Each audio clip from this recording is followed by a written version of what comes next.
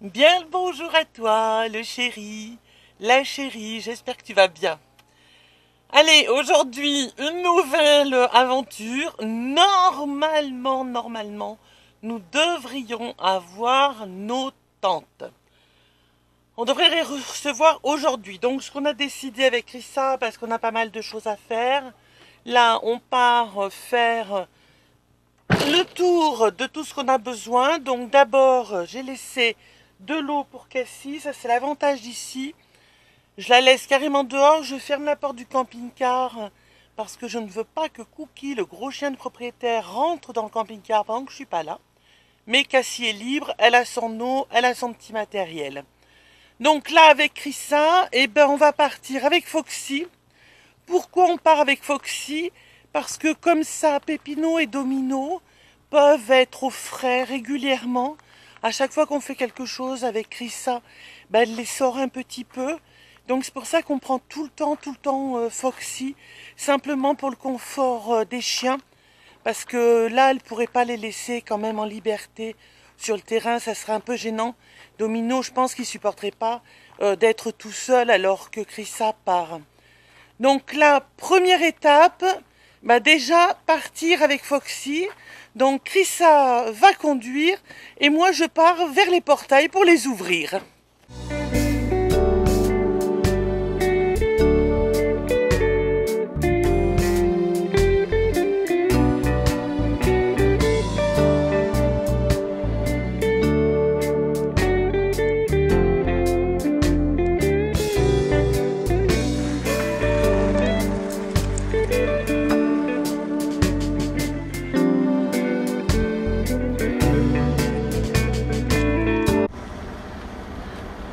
Est, pour une fois, on vous montre un peu l'extérieur du terrain. Là, nous allons à Totana. C'est chouette de se faire conduire de temps en temps. Bonjour madame. Est-ce que tu peux dire où est-ce que nous allons? Euh, on va chez Daniel. Première étape chez Daniel. Alors Daniel, c'est le vendeur des palettes. Voilà. Et ensuite, on va voir euh, une, entreprise qui s'appelle euh, Puertas Totana. Et on nous a dit, là, on peut trouver euh, du bois, des, des- des- des poutres, des tasseaux et des choses comme ça. Voilà.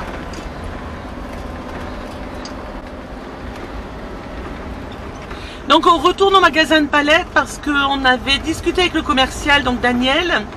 Donc euh, actuellement, bah, avec euh, tout le bazar qu'il y a de partout, le commercial ne bouge pas beaucoup. Donc euh, on lui avait commandé une centaine de palettes et il attendait, il voulait attendre de les recevoir pour nous recontacter. Il voulait voir un peu pour livrer. Et là, bah, on a décidé avec Chrissa d'y retourner pour voir où ça en est. Parce que comme normalement nous devrions avoir nos tentes aujourd'hui, on va le tenter. Hein, dans, nos, dans nos phrases ces temps-ci, tu trouves pas Est-ce que tu pourrais peut-être reculer un peu parce que tu es en plein devant mon rétroviseur Non, j'ai pas envie. Regarde le paysage, fais voir le paysage. Ouais, non, mais d'accord, mais moi il faut que je vois mon rétro quand même. Si Non. Tu veux pas qu'on atterrit dans le fossé. Tu es privé de rétroviseur, c'est en option aujourd'hui. Oh là là là là là là. Voilà, donc euh, ça, comme ça, ça montre au chéri que euh, on n'est pas dans le centre. Hein, ça, on vous l'avait déjà dit. Hein. Ça, on t'avait déjà dit, le Je crois chéri. que vous l'aurez compris. Oui. Donc- on est un peu sur les hauteurs, on est bien. Ouais.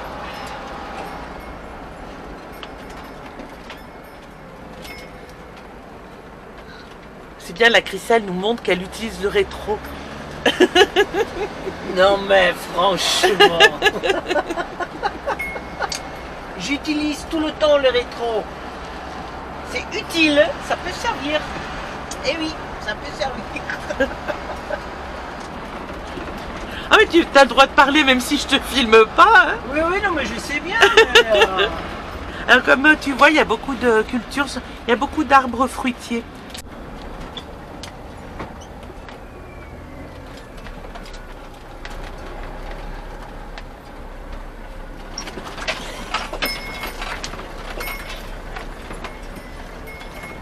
Très très très très sec.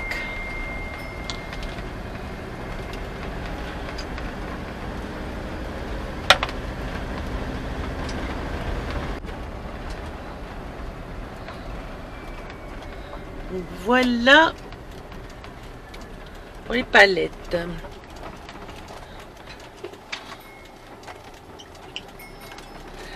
La dernière fois qu'on est venu, Chrissa ne s'est pas mise là, mais elle a vu qu'elle pouvait aller jusque là. Donc du coup maintenant, voilà. J'y vais. Au lieu de nous faire marcher, elle nous amène au pied du portail. Ah, bien sûr.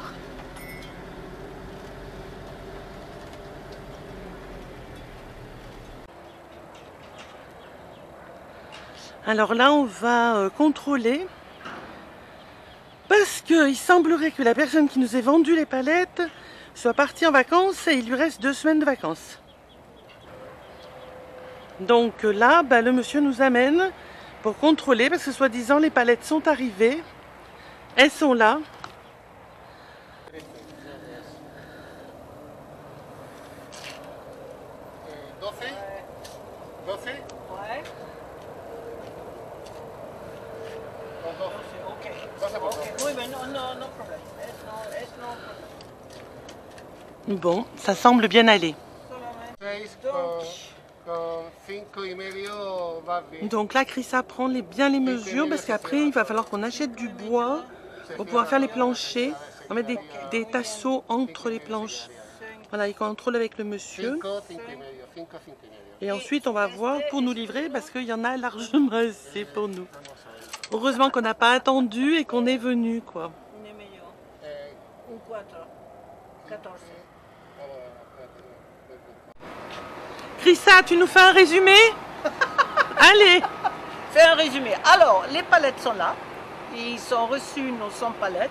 Malheureusement, Daniel, notre cher vendeur, euh, il a oublié de nous dire qu'il part en vacances pour 15 jours. Mais on a négocié quand même. Le prix reste le même par palette. Donc 4 euros. 4,10 euros Par palette. Moins, euh, moins, moins la TVA. Voilà. Moins 21% parce que la TVA c'est quand même 21%. Plus euh, 100 euros pour la livraison et puis euh, ils vont nous livrer quand ça, ça j'ai pas compris. Ah ben, il Euh, nous téléphone rapidement. ok. Euh, on va voir pour organiser normalement dès, Ouais. dès, euh, Ouais. le début de la semaine prochaine. Parfait. Ben, je, veux, je veux bien retourner euh, pour les palettes pour voir à peu près comment ça, combien ça représente 100 palettes. Comptez l'état, tout simplement, pas les. Allez, on va retourner là-bas. Ah là, Christa va nous faire voir qu'elle sait faire un une superbe marche arrière. Ah, j'ai pas intérêt à me mettre vers le rétro parce qu'elle a l'air là, Ah non, là. elle va m'arracher les cheveux à la pince à épiler. Oh oui. Bon, elle est maintenant euh, grand magasin de bois. Ouais. Parce qu'on va voir entre tasseaux ou planches de bois. Parce que finalement, si on met des tasseaux, on va en avoir pour plus cher de tasseaux que de palettes. Et euh, oui, j'ai regardé le prix des tasseaux qu'on avait achetés euh, chez le roi Merlin pour, euh, pour les cadres métiers à tisser. Euh, ce sont des tasseaux de, qu'est-ce que j'avais dit 13 sur, euh, bon, peu importe. 2,40. Euh, ouais, quelque chose Sur comme 2 mètres ça. 40. 2 mètres 40, oui, mais 13 d'auteur sur 30, Ouais. euh, 38, oula. Ah, il y a quelqu'un. Euh, donc c'est 1,89€ on a payé chez roi Merlin. Alors du coup effectivement et comme en plus on a besoin des tasseaux encore plus grands que ça parce que ça va par taille ça. Ouais, il nous faut au moins du 5 cm de large. Du 5,5 sur euh, 18 mm, donc euh, 50 sur 18. Et euh, ça risque d'être encore plus cher. Donc du coup, on est en train de réfléchir si on va pas tout simplement acheter des panneaux en bois pour poser dessus. Ça sera peut-être. Peut-être du même genre que de la planche, voilà, que la table. Parce que ce type-là de planche de bois, ça coûte pas grand-chose. Donc on va voir. Il me semble va que regarder. Ça, ça s'appelle OSB, les, les- les panneaux OSB, mais je suis pas sûre. Je mettrai pas ma main à couper. Bon, on va voir ça. Voilà. Direction magasin bois qui est apparemment juste à côté, dans une des rues là, euh, comment on dit, perpendiculaire. hein. Oui. On va voir s'ils ont, parce que le gars qui nous a, de- qui nous a dit de venir ici, il ne savait pas s'ils font aussi du bois, la vente de bois au détail, comme des tasseaux, des poutres et des choses comme ça. Voilà. C'est une zone industrielle, il n'y a pas, il y a, il y a pas beaucoup, beaucoup d'ouverts, euh, toujours après euh, bah, les mêmes raisons. hein. Donc on va aller voir si eux seraient ouverts ou pas, tout simplement. Ouais, ouais. Donc normalement c'est là, mes portails fermés, Fermé là. tout est fermé, Il ouais. n'y a personne. Ouais. Mais en tout cas c'était bien du bois, mais bon, tant pis, c'est loupé. Bon, va falloir trouver une autre solution. On va chercher autre chose. Bon, ben, pas de bois, pas de magasin de bois. Alors on se rabat sur le magasin pour les animaux. Quel est le rapport? Aucun. Aucun rapport. Mais nous ne devons pas les oublier non plus. Non, Nos non, petits non. amis à quatre pattes qui ont plein de besoins. Ouais. Allez, on y va, on va voir si c'est ouvert, hein, parce que bon, rien n'est sûr encore. C'est vrai. Allez, c'est reparti. Parce que là, on était dans la zone euh, industrielle quand même. Donc là, maintenant, nous nous dirigeons vers le centre.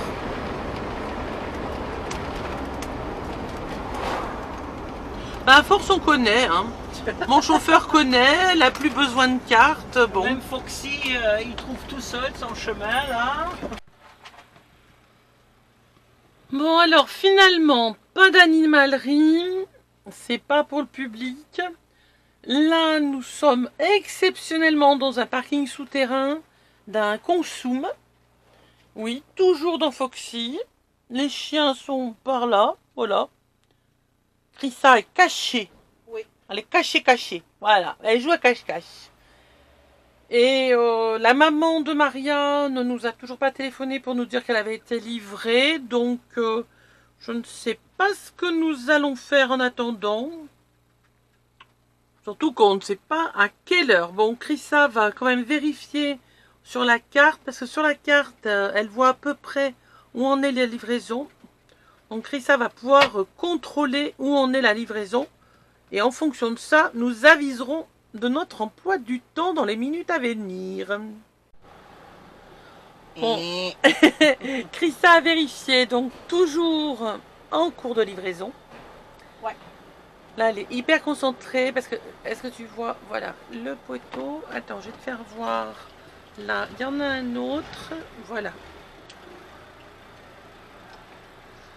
Alors, à ceux qui ne connaissent pas bien le volume de leur camping-car, ne rentrez même pas dans ce genre d'endroit. Donc, pour euh, récapituler, on a fait toutes les courses qu'on avait à faire. Euh, on a trouvé, t'as trouvé ce que tu voulais pour les chiens? Ouais, Moi, moi. ouais. Moi, j'ai trouvé ce que je voulais pour Si, si, Cassie. Pour les chiens, oui, j'ai trouvé, oui. Pour moi, non, pour les chiens, oui. Oui, parce que Christin voulait de la sûre pour ses toilettes sèches, donc elle n'a pas trouvé. Non. Nous avons fait deux petites courses. euh, attends, je me pousse, voilà, qu'elle voit. Pleine manœuvre.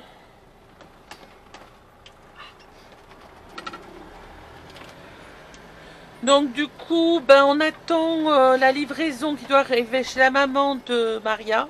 Encore, je récapitule. Hein, je pense que tu t'en souviens. J'ai plus le temps. Voilà. Ça fait combien de fois qu'on le répète hein? Toujours le mystère de la livraison. Alors là, ce sont les côtes espagnoles, j'adore. Et encore celle-là, elle est pas trop là. Elle est surtout pas trop longue. Ouais. Mais il y a pire hein, comme pente. hein. Oh, bah oui. Donc on va essayer de se poser un petit moment. Alors d'habitude, euh, à 13h, la livraison est faite. Donc c'est ce qu'on espérait. C'est pour ça qu'on est parti avant pour faire euh, tout ce qu'on avait à faire. Et là, ben, euh, Chrissa a proposé de se garer un petit peu près de chez cette dame. En attendant, on va attendre un petit peu, puis on verra bien quoi.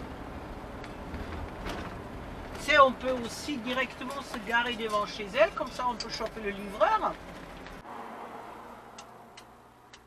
Voilà, on est garé euh, juste en face de chez la maman de, Voilà, de Maria. voilà.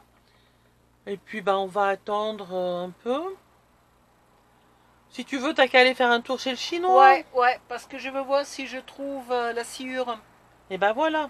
Hein Allez, bah vas-y, moi j'attends tranquillement là. Ici, tranquillement. Ouais, avec donc, les chiens. euh, avec les chiens. Comme ça, on peut tout laisser ouvert. Oui, oui, oui. Parfait, je vais aller On faire va ouvrir saut. en haut aussi parce qu'il fait même à l'ombre Ouais. il fait chaud. Ouais, ouais, ouais, Et puis je t'avertis si euh, on a quelque chose. Ça veut dire qu'il faut que j'amène mon téléphone? Obligé.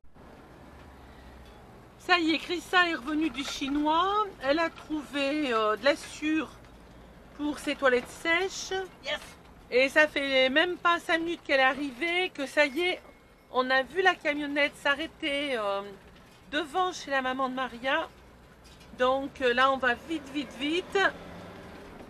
Parce que pour dire quand même, il y a 90 kilos de colis. hein. Il y a 4, colis à 90 kilos au total. Donc, euh, on voulait faire vite pour pas qu'il ait à les porter. Ça serait bien qu'il les porte directement dans Foxy. Voilà, il est juste là. C'est bon. Yes On est arrivé pile au bon moment.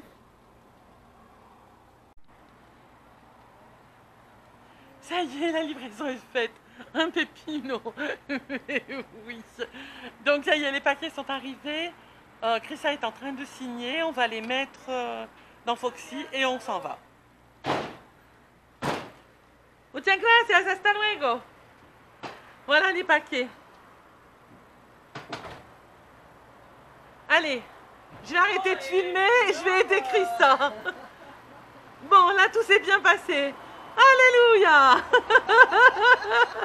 Allez, maintenant, du muscle pour rentrer tout ça dans Foxy. J'arrive.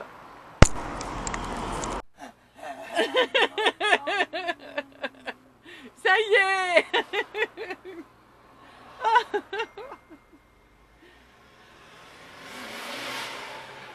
Tiens Alors- là.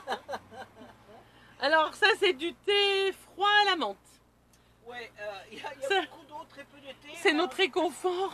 Oh, Alors, au pied de Chrissa, une partie des colis Yes et l'autre partie est dans la soute. Ça y est On a nos tentes J'aurais dû acheter une bouteille de champagne. Non, nous ne sommes pas saouls. C'est naturel avec de l'eau et de la menthe, c'est tout. Allez, chauffeur, à la maison. Puis alors maintenant, on ne va plus rien faire. Non, pour aujourd'hui. Et regarde, hein, 135 000 En plus Allez, go, go, go. Salut les amis. Fais euh, un coucou à la maman. Alors quand je disais qu'on allait vraiment plus rien faire, qu'on allait enfin se reposer, eh ben c'était tout loupé. Chrissa a voulu euh, changer de route comme ça, pour passer par un autre endroit, comme si on habitait euh, depuis X temps ici et qu'on avait déjà nos habitudes, mais oui. Donc elle a fait un petit détour, elle voulait faire un petit détour, puis finalement, ben, euh, elle s'est loupée un petit peu puisqu'elle n'a pas tourné à droite, elle n'a pas vu où il fallait tourner à droite pour rejoindre le QG. Et c'est très bien. C'est très bien parce que Foxy s'est lancé euh, sur cette route euh, de montagne qui est juste donc au-dessus de Totana. Très jolie, comme tu vois, qui tournicote dans tous les sens. Et puis Chrissa et moi, bah, d'un seul coup, on s'est dit, mais euh, ça fait du bien, c'est chouette. Franchement, euh, Chrissa aurait pu faire demi-tour, hein. mais on n'en avait pas envie. Ça nous faisait du bien d'être sur la route, de changer de paysage, de voir autre chose. On s'est laissé euh, porter par notre cher ami Foxy, qui semblait tout heureux aussi de prendre la route. Alors là, comme tu peux le voir, nous avons qui Nous avons quoi? Nous avons une Crissa qui conduit, qui est folle de joie, qui se fait plaisir en conduisant tranquillement. Alors elle raconte des trucs. Mais oui, mais oui, tu ne l'entends pas tout simplement parce que le micro n'a pas voulu fonctionner, parce que le micro n'avait plus de piles. Mais c'est pas grave, on a l'image de Crissa heureuse, ça suffit. De cette jolie route, c'est parfait. Où est-ce qu'on allait à ce moment-là? On n'en savait rien du tout, on savait qu'on était en montagne et qu'on était bien. En tout cas, on n'était pas vraiment perdu. On savait à peu près où nous allions parce que quand on a vu le parking, qu'on a vu cette statue, on a compris qu'on arrivait vraiment au-dessus où il y a la statue que je rigole tout le temps en disant qu'on est au Brésil. Et là, on a pris une, toute petite route, comme tu vois, qui indiquait un parking. Bon, le parking sur la droite en plus est fermé, donc niette, on n'y est pas allé. Et puis Christian a dit bah écoute, on continue quand même, on verra bien euh, où ça nous mène. Alors on n'avait pas du tout, du tout envie de croiser qui que ce soit, vu la taille de la route. Mais alors regarde comme c'est joli. Et voilà, devant toi tu vois, hein, on avait repéré que ça serait sûrement cet endroit. Tu l'as peut-être aperçu. Sur la, route, comme tu vois, des statues qui nous indiquent un peu où nous allons des statues très très modernes. Moi j'aime beaucoup, c'était très très euh, très joli. Il y en a plusieurs en montant. Donc là, euh, ça doit être le Christ avec son chemin de croix. Il y a d'autres sur la gauche. Là, voilà. Là, ça doit être la Sainte Vierge. Et la route continue, bien évidemment très étroite, très belle. Regarde ce paysage. Ça, c'est un ancien monastère qui a été transformé en hôtel-restaurant. Et il y a l'abbaye, Chrissa montre là euh, l'abbaye que l'on peut euh, visiter. Elle t'expliquera ça un de ces jours parce que de toute façon, je sais qu'on va y retourner.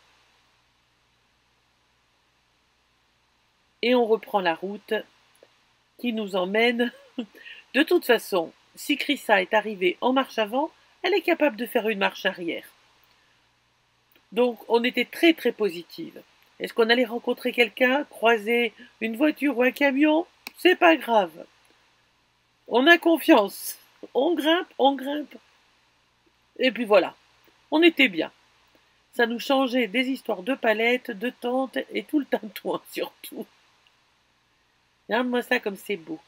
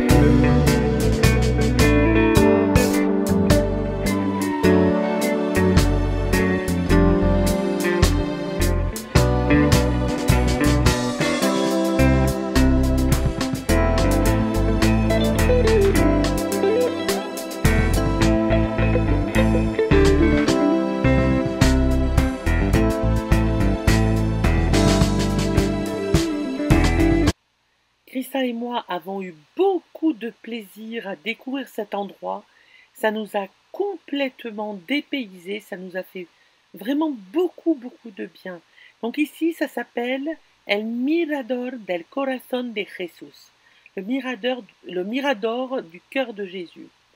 Et là, nous sommes au mirador, au-dessus de Totana, au-dessus de la vallée et au-dessus du QG très très très beau. Je, conseille cet endroit. C'est très nature, très beau, très simple. Voilà, tout simplement. Nous nous sommes posés un moment, puis nous sommes repartis tranquillement, pas de souci pour revenir. Et finalement, on pensait encore une fois que la journée était finie. Eh ben, pas du tout. Voilà qui nous attendait à l'arrivée au QG, le camion avec les palettes.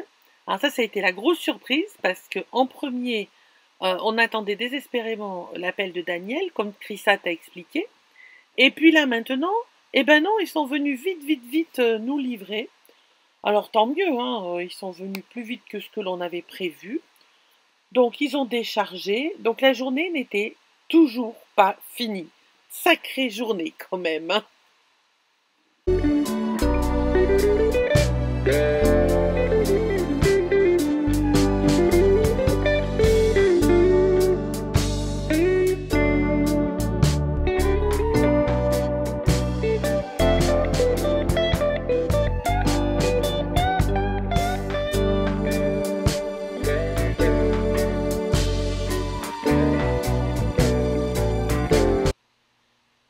Livraison de palettes faite.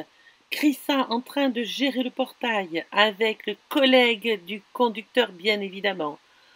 Ah, quelque part, ça faisait du bien de les voir partir. Parce que vraiment, quelle journée. Là, on voit, on devine Chrissa qui s'agite pour fermer le portail. Elle arrive, elle descend.